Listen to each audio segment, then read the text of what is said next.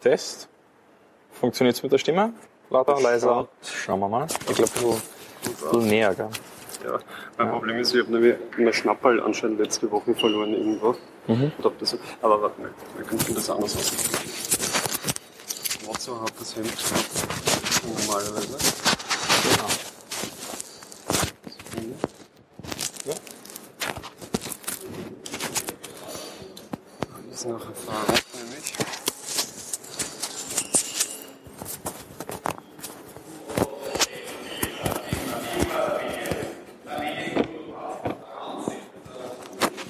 Ich, ich, mittlerweile ein bisschen Erfahrung, aber noch weit, weit entfernt von unseren Experten. Ne? Ja, ja, ich Und weiß, abgehört, also, eins- ich habe mir gedacht, ein Interview träumen noch zu nach dem Wahlen. Ja, passt. Ja. Papa, Papa, hallo. So, der Rest ist dann jetzt am Rausschneiden, weil die Kamera läuft schon die ganze Zeit. Und das läuft da. So, zweiter Teil von Teil 2 von Episode 10. Jetzt, das ist der Stefan Windberger, mit dem habe ich schon probiert, im Wahlkampf ein paar Mal die Termine zu kriegen, aber wir haben es irgendwie nicht geschafft. Jetzt sind wir nach dem Wahlkampf. Jetzt haben wir es nach dem Wahlkampf. Umso, umso informativer kann man Hoffen wir mal. mehr, mehr drüber quatschen. Ist richtig. Bleiben wir gleich beim Wahlkampf. Äh, du warst ein bisschen skeptisch, dass du das Mandat bekommst, obwohl, ich sage mal, bis zu einem gewissen Grad warst du der Meinung, es könnte sich ausgehen, warst aber realistisch. Man weiß es nie, bevor der Sonntag nicht war. Wie ist jetzt sozusagen die Enttäuschung? Du, bist du enttäuscht, dass du nicht in Brüssel jetzt sitzt? Oder bist du eher einer, der sagt, du nimmst es sportlich und nimmst den nächsten Antritt, wenn möglich? Ähm, ja, natürlich ein lachendes und ein weinendes Auge. Das äh, Lachende ist, wir haben als Neos beim Nationalrat zwar hat niemand geglaubt, dass wir es reinschaffen werden. Äh, wir sind reingekommen, 5 Prozent, äh, doch 1 Prozent über der Hürde. Jetzt bei der Europawahl haben wir nochmal 3 Prozent dazu gewonnen. Bei mir daheim in Graz haben wir jetzt 10, 12 Prozent, äh, was doch ein solides Ergebnis ist. Also das ist natürlich alles, man merkt, es gibt einige Sachen, die sind wirklich toll. Andererseits mich persönlich ist natürlich ärgerlich. Ich hätte es mir gewünscht. Ich habe nicht umsonst äh, wirklich, wie man so schön sagt, den Arsch aufgerissen die letzten sechs Monate und äh, war aber nachgezählt knapp über, über 60 Events waren es in Wahrheit. Also das war schon viel zu tun, aber habe viel gelernt für mich auch. Ähm, und äh, vielleicht ergibt sich mal was zum späteren Zeitpunkt, aber jetzt haben wir halt fürs erste Mal leider nein. Okay, leider nein. Das, das leider nein, das habe ich schon öfters gehört. Äh, wo, wo positionierst du dich? Wo ist jetzt dein persönliches Karriereziel? Ähm, ich glaube, es ist ganz wichtig, dass man sagt, man macht, äh, man tritt nicht für ein politisches Amt an, weil man sonst keine Möglichkeiten hat. Was leider, gerade bei uns in Österreich im Parlament, wenn man sich die Berufspolitiker oder in Graz hier die Gemeinderäte, die parallel beim Magistrat Graz sind, angestellt sind, anschaut, äh, das halte ich für Katastrophe. Was wichtig ist, ist zu sagen, man hat ein persönliches Profil und man hat eine Möglichkeit, was zu tun. Und wenn es zu einem gegebenen Zeitpunkt passen sollte, dann auch gerne in der Politik. Ich habe das Glück, habe eine ganz gute Ausbildung, sagen wir mal, und habe ein kleines Einzelunternehmen und äh, um das kümmere ich mich jetzt. Also da bist du auch sozusagen ein Gärtner, wie es der Matthias gerne Ja, ein Gärtner, kann man sagen, ja. Äh, also das heißt auch, äh, du bist, wenn du sagst, gegen Berufspolitiker, dann würde ich mal äh, mich so weit aus dem Fenster trauen und sagen, du bist eher ein Berufungspolitiker, also jemand, der aus Berufung es versteht, zu sagen, ich möchte das machen. Ähm, ich habe mir gedacht, ist die Europawahl eine, wo ich mit Herzblut dabei sein kann? Und das war relativ bald klar, dass ich gesagt habe, ja, das möchte ich machen. Ich hätte bei keiner anderen Partei außer den Neos die Chance gehabt, äh, mit 25 durch einen offenen Vorwahlprozess mit Bürgerbeteiligung äh, auf Listenplatz 2 zu kommen und damit eine realistische Chance zu haben. Das muss man auch sagen. Das war für mich auch eine große Motivation, weil ich gesehen habe, hier könnte ich was bewegen und hier kann ich was bewegen. Und äh, das Thema Europa liegt mir sehr am Herzen. Und ich glaube auch, was ich gern gemacht hätte, was ich nach wie vor in anderer Art und Weise mache, ich möchte mich für junge Menschen einsetzen. Für mehr Chancengerechtigkeit in, der Bildung.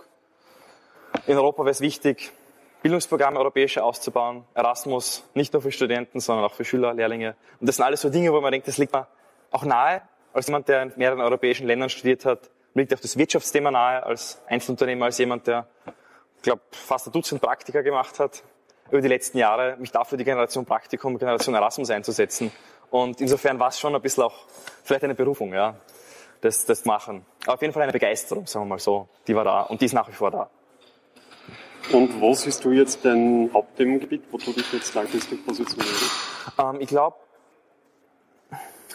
es gibt mehrere Möglichkeiten. Also eine, eine ist zu sagen, ich mache meine Firma weiter mit Fokus auf Sozial, Social Impact, äh, soziale Punkte, so Schnittstelle, Wirtschaft, äh, soziales Umfeld, wo ich auch gearbeitet habe, bei der Grameen Bank in Bangladesch, beim Nobelpreisträger, Friedensnobelpreisträger Muhammad Yunus.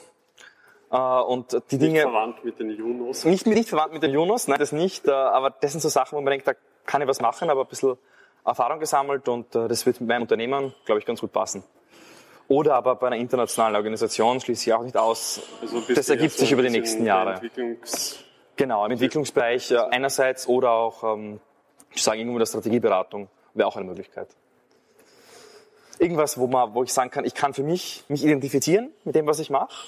Ich habe Begeisterung für das Projekt, für das Produkt, für die, für die Tätigkeit und sehe auch, dass ich damit was erreiche. Also sowohl vom Prozess her als auch vom Resultat. Mhm. Das klingt auch nicht so uninteressant. Wo, ähm, wo siehst du eigentlich für junge Menschen ähm, Nachholbedarf oder Entwicklungsmöglichkeiten? Du sprichst immer äh, wieder von Erasmus, du sprichst eben von Auslandspraktika mhm. etc., mhm. Äh, Generationspraktikum. Glaubst du, dass es, äh, dass es sinnvoll wäre, ich, ich will jetzt nicht sagen verpflichtend, aber mehr Motivationsmöglichkeiten für die Leute zu geben, dass sie ins Ausland gehen, zumindest Absolut, für ein ja. Jahr? Das ist genau das ist genau der Punkt, dass wir viel mehr machen müssen für junge Leute. Das war auch mein Hauptpunkt bei den Wahlen, wo ich gesagt habe, Jugendarbeitslosigkeit ist eines der größten Probleme, das wir haben momentan in Europa. Es ist ein Problem, das wir nur gemeinsam angehen können auf europäischer Ebene. Und es ist ein Problem, das vielleicht junge Leute anders anpacken, die eben selbst Erasmus erlebt haben, die selbst diese Situation erlebt haben, wo du nach äh, Ende deiner, deiner Ausbildung nicht sofort einen Job bekommst. Und nicht, wie es war, die, was ich oft auch erzählt habe, die Abgeordneten im Parlament, 766 waren es. Und von den 766 sind nur zwei am Schluss unter 30 gewesen. Niemand, Junges, niemand, der einen Bezug hat. Ich will damit nicht sagen, dass quasi alte, ältere Politiker nicht über Jugendarbeitslosigkeit sprechen können, aber ich glaube, dass ich als Junger und viele andere dann einen anderen Bezug dazu haben. Was heißt das konkret? Konkret glaube ich, dass wenn wir sehen, wir haben Jobs in Deutschland und Österreich, die gibt's. Dreher Schlosser, die werden gesucht. Wir haben Leute in Südeuropa, Spanien, Griechenland, die wollen, äh, die wollen da was machen aber die haben nicht die Sprachkompetenz, die waren noch nie im Ausland. Und äh, denen dann zu sagen, hey, wir unterstützen euch. Wenn ihr in Deutschland oder Österreich arbeiten wollt, dann gibt es eine Möglichkeit der Unterstützung der Europäischen Union, führt es zu einem besseren Matching am Arbeitsmarkt, dadurch zu weniger Arbeitslosigkeit und gibt den Leuten auch Perspektiven, weil man sagt, wir investieren in euch und das ist wichtig. Und äh, das Gleiche ist mit dem Jungunternehmertum, äh, wo es immer noch so viele Barrieren gibt in Europa. Beispielsweise, wenn ich sage, ich habe ein kleines Unternehmen in Österreich, ja, bin Jungunternehmer, äh, und dann möchte ich zu einem zu einer Privatperson exportieren nach Frankreich und nicht zu einer, zu einer zum äh, Vorsteuerabzugsberechtigten Unternehmen. Äh, und äh, dann muss ich in Frankreich die Mehrwertsteuer abführen. Und das ist kompliziert. Wenn ich sage, in allen 28 EU-Staaten muss ich, wenn ich dort Kunden habe, Privatpersonen, muss ich extra mich registrieren mit den Behörden, extra Steuern zahlen. Da gibt es so viele unnotwendige Hürden für junge Menschen und da müssen wir auch daran arbeiten. So auch Abbau von Barrieren. Ja, absolut, ja. Es ist eh schwer genug, einen Kredit zu bekommen als Jungunternehmer. Es ist schwer genug, deine ersten Kunden zu bekommen. Aber ist es wirklich notwendig, 10.000 Euro Startkapital zu haben bei einer GmbH? Oder sollte man nicht viel eher wie in England sagen, wir brauchen nur einen Pfund? Oder, genau, die Limited. Oder wie auch die Europäische Kommission jetzt vorgeschlagen hat, die äh, 1 Euro GmbH. Also ange angelehnt an die Limited in England, angelehnt an die GmbH Zero in Österreich, wo man sagt, in Wahrheit das Gründungskapital ist nicht das Ausschlaggebende. Wenn da keine gute Idee dahinter ist, wenn da keine glaubwürdige Person dahinter ist, wird das Unternehmen eh keinen Kredit bekommen, das es braucht. Aber wir brauchen nicht drei Hürden. Es reicht mit der Finanzierung und mit den Kunden finden und Aufträge bekommen. Wir brauchen nicht noch eine finanzielle Hürde von äh, Startkapital im fünfstelligen Bereich. Glaubst du aber, weil es geht ja auch viel um diese Kreditsachen, mhm. äh, um das nicht mehr imstande, also, äh, Entschuldigung, wieder mal verhaspelt. Hastigkeit ist nicht unbedingt das Beste. Kein wieder Problem. Zurück zur Ruhe. Äh, glaubst du, dass es nicht äh, sinnvoll ist, dass man äh, beginnt äh, zu überlegen, man spricht immer vom äh, verlorenen Vertrauen, die Banken müssen sich an Basel III Kriterien halten. Es wird immer schwieriger für Jungunternehmen überhaupt an Kredite zu kommen. Crowdfunding wird immer mehr und mehr ein Thema. Äh, wie soll man da vorgehen? Wie, wie soll man überhaupt den Banken sagen, ihr, ihr, ihr habt eine Aufgabe in der Wiederbelebung der äh, Wirtschaft? Ja. Und nicht in der Drosselung von dessen, weil mhm. ihr kein Vertrauen mehr habt. Mhm. Ich glaube, im Bankenbereich würde es trennen. Crowdfunding ist eine tolle Alternative und ist eine, die in Österreich viel zu schwierig ist.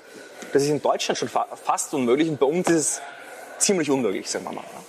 Mit den rechtlichen Bedingungen auch einfache Dinge wie der Schaudinger von der GEA, von, diesem Schuh, von der ja. Schuhfirma, der dann einfach so viele, dem so viele Steine in den Weg gelegt werden, was in Amerika undenkbar ist.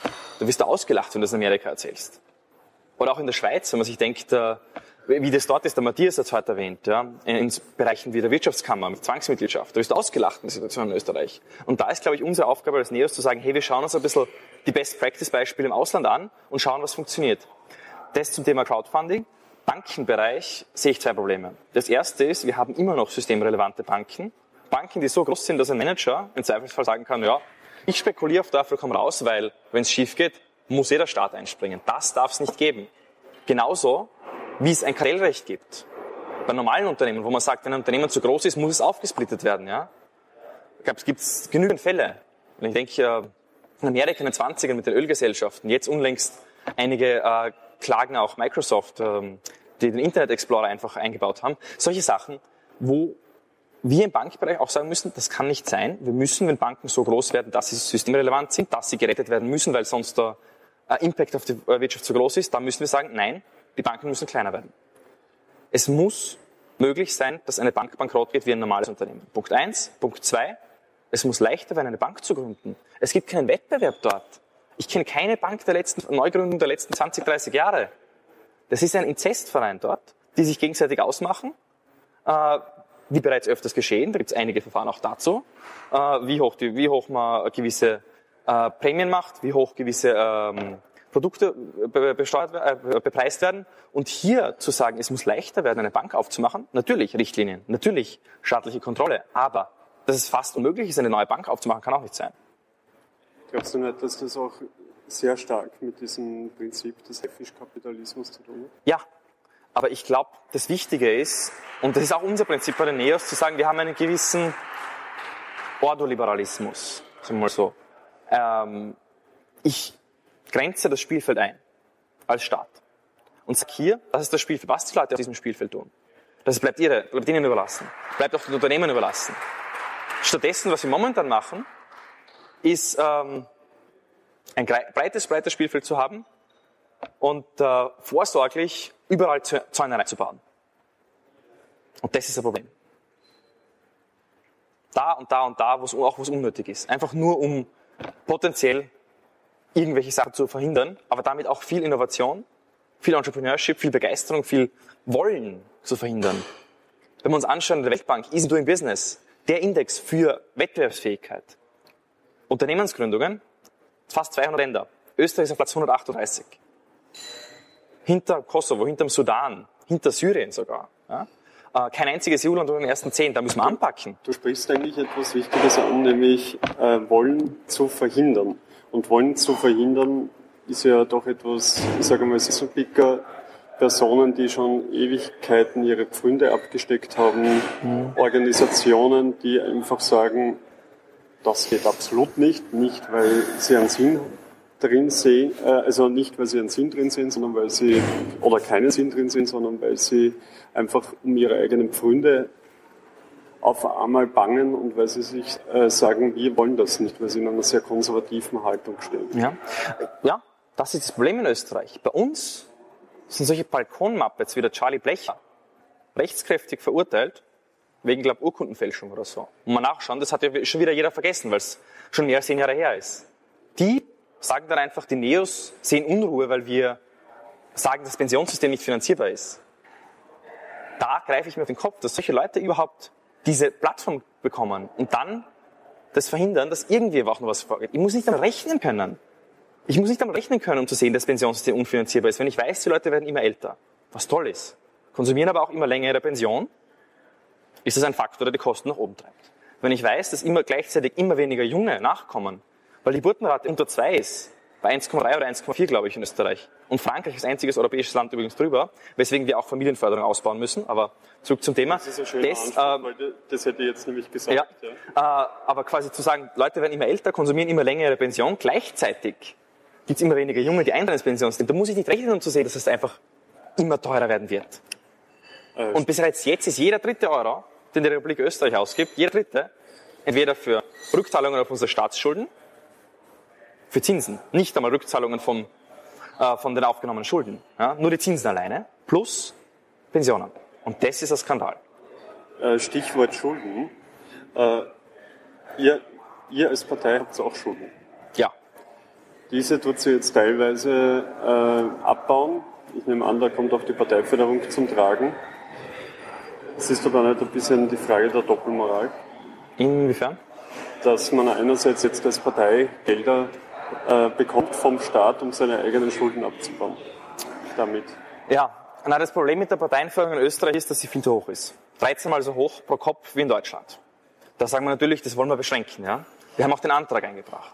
Das Problem ist nur, dann haben alle gesagt, ja, ist natürlich nicht durchgegangen der Antrag. Dann sagen alle, ja, warum geht sie nicht voran und warum kürzt sie nicht bei euch selber? Und da sage ich, das ist aber unfair.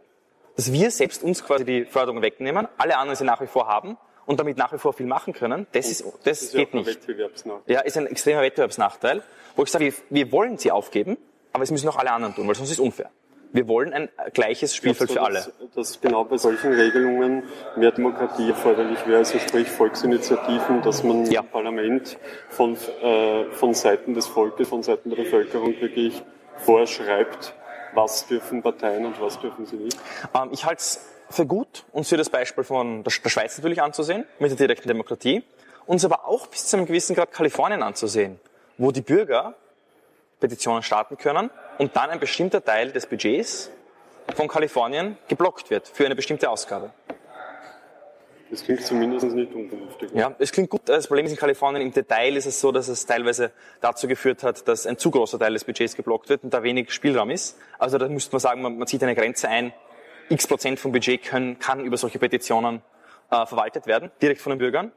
Ähm, ist aber eine Detailfrage. Aber quasi die Idee per se, hier mehr direkte Mitbestimmung äh, zu unterstützen, ist eine gute, weil ich glaube, dass es nicht nur eine Hohlschuld der Bürger ist, Politik, äh, äh, nicht äh, der, der Politik ist, ja, äh, ist auch eine Bringschuld zum gewissen Grad, dass die Politik, äh, Politiker die Politik näher an die Bürger bringen müssen. So wie wir es versuchen mit den Themengruppen, die unser Programm erstellen, wo wir in Österreich über 30 haben. Wir versuchen mit den offenen Vorwahlen, wo die Bürger mitstimmen können. Äh, einfach zu sagen, hey, Politik im 21. Jahrhundert wird nicht hinter verschlossenen Türen gemacht, sondern wird wie hier offen gemacht, wo die Leute mitmachen können.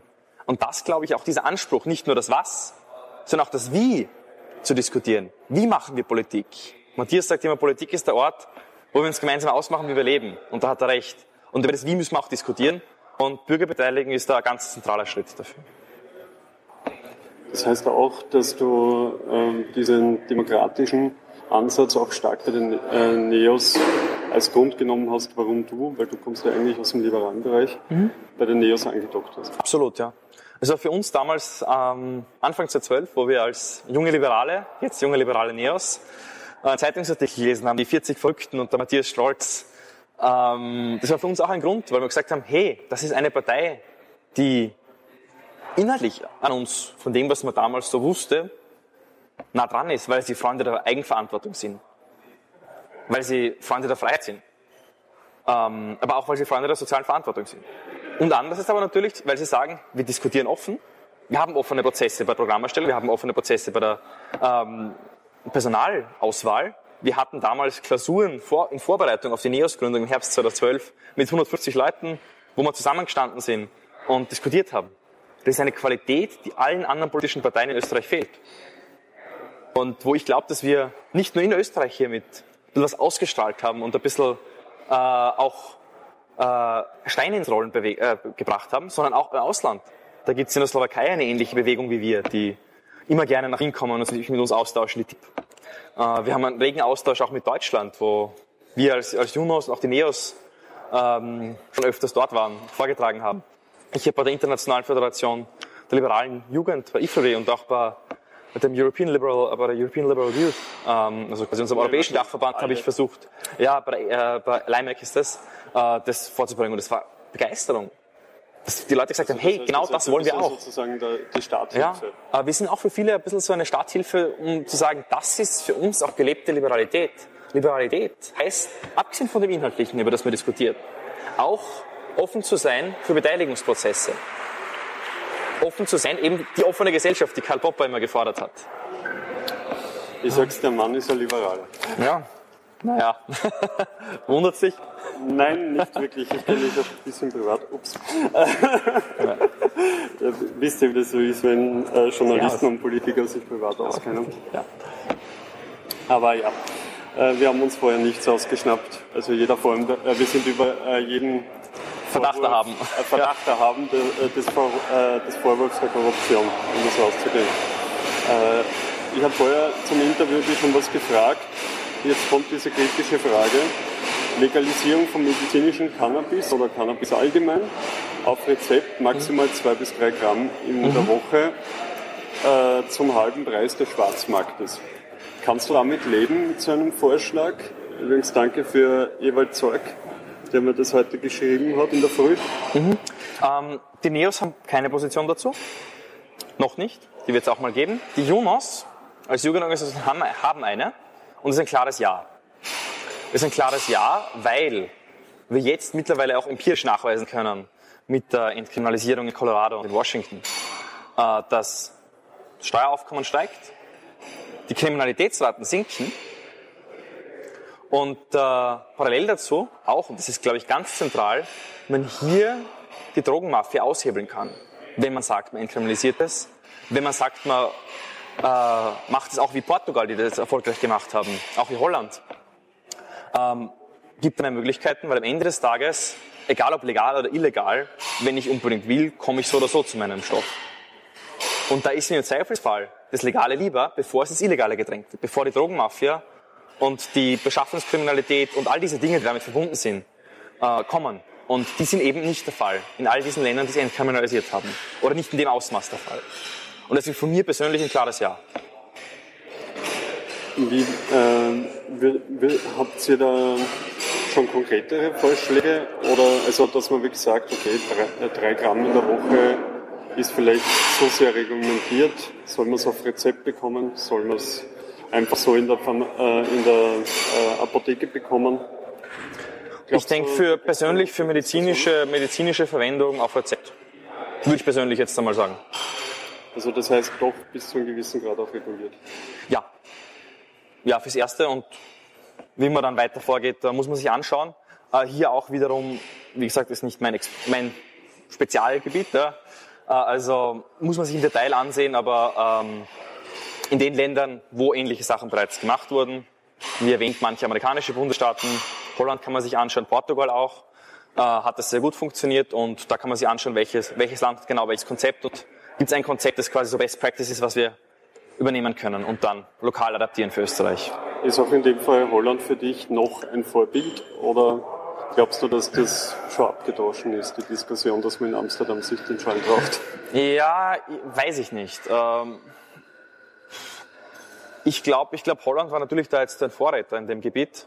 Ähm, Portugal, Amerika, eben die amerikanischen Bundesstaaten, wo es jetzt äh, teilweise möglich ist, äh, sind neu, haben andere äh, äh, Rahmenbedingungen. Äh, müsste man sich im Detail ansehen. Zurück nochmal zu den Li Liberalen und in dem Fall zu den Jonas. Du warst heuer im Wahlkampf. Beim letzten Wahlkampf sind die Liberalen in Form der Julis damals angetreten. Ja. Das hat mir insofern sehr gut gefallen, weil da hat es vor der Albertina einen wunderbaren äh, Beitrag gegeben mit einer Tonne. Die Mülltonne, er hat mit, dem- mit Wasser gefüllte Tonne, mit dem Hannes Müllner, ja. Genau, im Sinne, mir steht das Wasser bis, zum zum Hals, Hals, ja. Ihnen auch. Ja. Mir hat der Spruch wunderbar gefallen. Äh, wie siehst du das? Das haben wir übrigens wieder gemacht im Schwimmbad aber diesmal. Gibt auch ein Foto. Äh, mit ein paar Junos äh, in, im äh, pinken, pinken Badehosen und uns steht das Wasser bis zum Hals. Ähm, so, die Frage war jetzt nochmal, Äh, wie äh, siehst du jetzt fünf Jahre später, wo diese Wirtschaftskrise eingeschlagen hat, ja, äh, und alle ihre Nachwirkungen halt mit, mit, sämtlichen Facetten immer mehr und mehr spürbar werden. Österreich liegt also nach wie vor noch auf der goldenen Seite des Butterbrotes. Wie siehst du das jetzt fünf Jahre danach? Uns geht es immer noch relativ gut. Österreich hat, je nachdem, wen man fragt, je nach Berechnungsmethode die niedrigste oder zweitniedrigste Arbeitslosigkeit und Jugendarbeitslosigkeit auch in Europa oder in der Europäischen Union, sagen wir mal so. Mm, das ist auf der guten Seite. Die Frage ist nur, wie lange hält das Ganze? Und die Probleme, die wir damals angesprochen haben, sind die gleichen Probleme, die wir jetzt wieder nach wie vor ansprechen müssen. Das sind strukturelle Probleme, die uns momentan bedingt schaden, aber die, wenn wir weiter so tun, irgendwann und äh, je, mehr, je intensiver wir weiter tun und je länger wir brauchen, um eine Kehrtwende zu vollziehen, umso stärker beschädigen werden. Und die Probleme, die müssen wir ansprechen. Das ist Bildung in Österreich. Der Matthias hat sicher erwähnt, die 25 Prozent Sekundäranalphabeten. Das hat er nicht gesagt. Mit 15. danke für den äh, jeder Vierte kann Sinn auf was lesen und schreiben. Wenn ich mit meinem Kollegen spreche, äh, der bei der Anwitz AG ist, der mir sagt, die haben einen standardisierten Test für Lehrlinge und die schneiden von Jahr zu Jahr, machen den Test seit 10, 20 Jahren. Von Jahr zu Jahr ist der Prozentsatz der Lehrlinge, die den Test schafft, geringer. Es schaffen immer weniger, obwohl der Test der gleiche ist. Dann denke ich mir schon, scheiße. Weil Bildung ist ein Schlüssel für unsere Gesellschaft, für Jobs. Wer stellt die Leute ein, die nicht lesen und schreiben können, die nicht Prozent rechnen können? Da, muss ja ein da müssen wir was tun.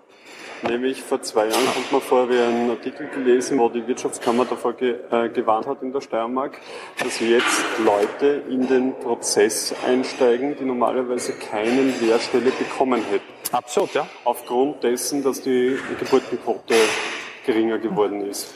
Ja. Kann es sich ein Staat im 21. Jahrhundert leisten, dass bei einem Jahrgang von 70.000, 75.000 Personen ein, so ein Bildungsverwaltungsapparat läuft, dass 10.000 als Ausschuss gelten? Ja, das ist die Sache, dass der Staat es kurzfristig sich leisten kann. Deswegen sagt bei uns die Regierung, es ist eh alles in Butter, wir haben niedrige, niedrige Jugendarbeitslosigkeit, keine Probleme. Aber wenn das so weitergeht über die nächsten Jahre, dann ist es irgendwann nicht mehr 10.000, 20.000, sondern 100.000. pro Jahr. Eben. Und das ist Punkt. Und irgendwann wird es eine so große Zahl, dass man darüber diskutieren muss. Aber dann ist es schon zu spät.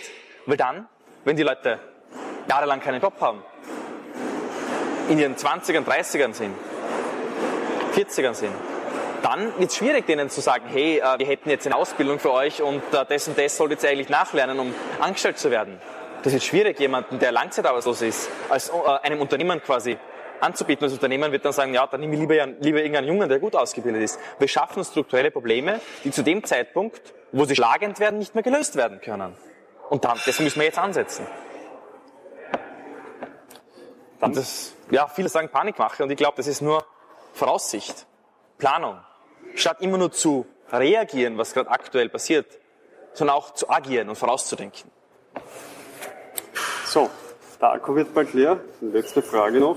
Das ist dieselbe Frage übrigens, die ich auch Matthias vorher gestellt habe. Äh, das ist Unterwasser-Rugby. Das ist das, was ich in meiner Freizeit treibe. Und du tust dabei in drei bis fünf Meter Tiefe äh, einen Ball in einem Stahlkorb okay. äh, hineindrücken. Ja. Auf diesen Stahlkorb, und das ist eben die Analogie zur Politik, sitzt meistens jemand drauf und versucht das zu verhindern. Okay. Geht in der Politik hin und wieder die Luft aus? ähm, ja, natürlich. Das finde ich sehr spannend. Ein cooler Sport, muss man anschauen. Ja, kannst du ähm, vorbeikommen. Unterwasser-Rugby. ja, Promotion, Promotion für Unterwasser-Rugby. Schaut, schaut cool aus. Äh, da hat man, hat man keine, wie ich sehe, nicht wie beim Tauchen, sondern ich tauche immer auf und dann hole ich Luft, also wie Apnoe tauchen. Alles klar? Und ähm, äh, eine Taucherbrille. Und die, die, Luft, die du in der Lunge hast. Ja. Das äh, ist eine gute Analogie zur Politik. Man ist nicht auf ewig ausgestattet mit Ressourcen, sondern muss immer wieder abtauchen ein bisschen und sich erholen. Ich freue mich schon, nächste Woche ist für mich die erste, wo ich ein bisschen Urlaub mache, zum ersten Mal seit einem Jahr.